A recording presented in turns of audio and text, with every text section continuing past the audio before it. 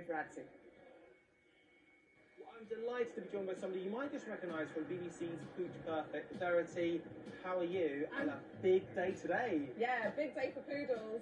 Obviously, you can see everyone's here super early. Everyone's getting the dogs ready. I've got two dogs to get ready. So this is the lovely Lara. She's one of my hi. She's one of my dog's puppies, who's now a year and a half. And I also have Gigi down here, who's a toy poodle, and she was the winner of the bitch ticket last year. So Well, I have to say, when I woke up this morning, I was so excited 'cause it's not every day that I get to get my hands on a potential Best in Show winner at for Grooming. Oh, um, no, no, no, no, no. Uh, your dog's over here. There's absolutely no way you're trimming this dog. Ah, okay. Let me walk this way. I know, I know my place, and it turns out my place is with a teddy. So the two essential items are a scissor and a comb. Okay.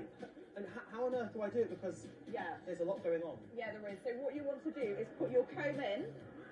So we're going to put our comb right in and almost like lift the coat up and out as you're doing it. It's just, it's so much work trying to maintain it. They have to be banding away all the time because they're dogs and they like to live normal lives.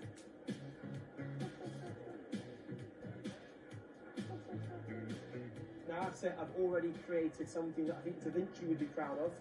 We've, we've lifted the coat Yeah, up. I, I lovely. And Can you see now where you've got all these straggly ends? Yes. We're going to have to just scissor that, tidy it off so that it's almost like topiary. So we want to create a nice shape, okay?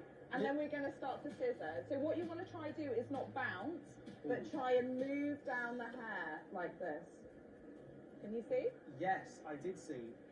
Yeah. I can I can genuinely really see how quickly you can you can shape this. Yeah, I mean, you can alter a dog's appearance completely with dog hair, but the thing is, at Crufts, what we're doing is the judges are getting their hands on the dogs and they're feeling underneath all the structure of the dog as well. So there's no fooling the judges at all. Regardless of the appearance, they want to know what's under that as well. Exactly. So even though the hair is such a big thing, because a poodle is a very glamorous breed, it really is to do with the structure and the movement of the dog. So they're going to feel the dog and watching how the dog moves as well at the same time. So, Grace, when you arrive at Crufts in the morning, how long will you actually spend grooming today? grooming for about an hour, preparing them, and then depending on the class size, 10 minutes in the ring. Wow. It's a lot, isn't it? It's clearly a Yeah. passion. You know what? I think in about 15 minutes, me and my friend here, we're going to be ready to show the world our creation. and who knows, could it be a Best in Show 2023 at Crufts? You wouldn't want to write it off.